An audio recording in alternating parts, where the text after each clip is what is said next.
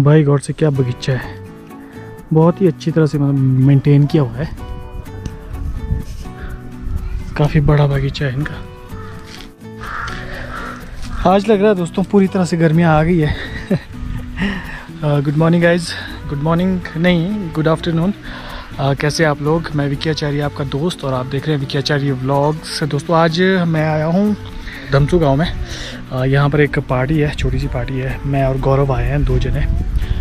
और रसोई हमारी एकदम से ओके है।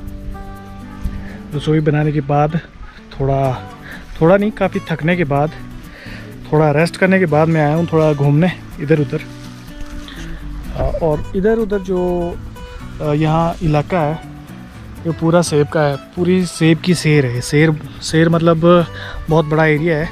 तो यहाँ पर सिर्फ़ से, सेब की पैदावार है, बहुत ज़्यादा सेब है और बड़े बड़े पेड़ हैं, आप देख सकते हैं।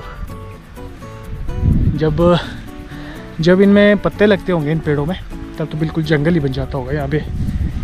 काफ़ी पास पास है, काफ़ी बड़े बड़े पेड़ हैं। धमसू काफ़ी प्यारा सा, काफ़ी छोटा सा गाँव है, ज़्यादा पॉपुलेशन नहीं है। हम गाँव से थोड़ा साइड में आए हुए हैं, बगीचे में। यहाँ जो पार्टी यानी कि बर्थडे पार्टी है। बर्थ, क्या बोल सकते हैं उसको? हम बोलते हैं कौन है? यानी कि बच्चा हुआ है तो उसकी पार्टी दे रहे हैं।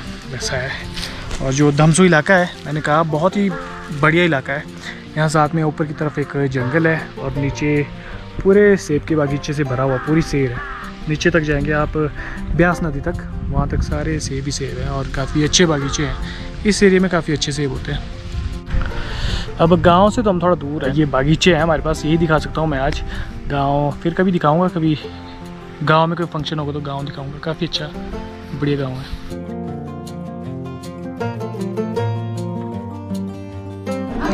यहाँ रसोई के साथ ही है जमेरड़ी का पेड़। जमेरड़ी का नहीं, के बोल सकते हैं, एक, दो, तीन पेड़ है यहाँ पे। मैंने देखे नहीं थे जमेरड़ी के पेड़ कैसे होते हैं। मुझे लग रहा था कि संतरे या नींबू के पेड़ है। जो खट्टा होता है, खट्टा। मैंने सोचा उसके पेड़ है, लेकिन ये जमीरड़ी है। गौरव ने मुझे बताया था। और यहाँ पर बैठे हैं गौरव जी। अकेले बैठे हैं, क्या देख रहे हैं आप? दिखाओ। ये दोस्तों हमारी रसोई, छोटी सी रसोई। और ये है घर, जहाँ पर पार्टी है। ये बागीचे के बीचों बीच है। गौरव काफ़ी ज़्यादा परेशान है आज गर्मी से।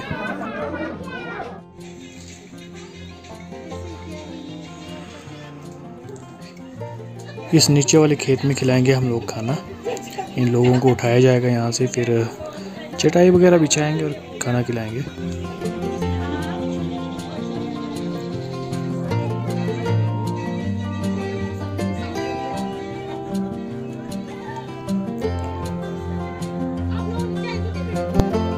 ये रही हमारी रसोई हमारी आज की आइटम है पनीर मदरा राजमा दाल चने और काफ़ी ज़्यादा लोग आने शुरू हो गए हैं।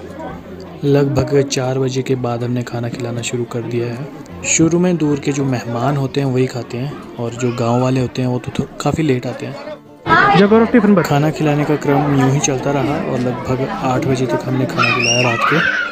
और मैं लगभग साढ़े आठ पौने नौ बजे घर पहुँच गया।